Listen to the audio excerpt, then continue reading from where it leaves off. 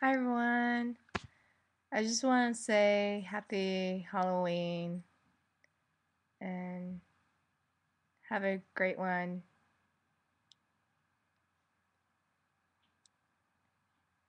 Bye.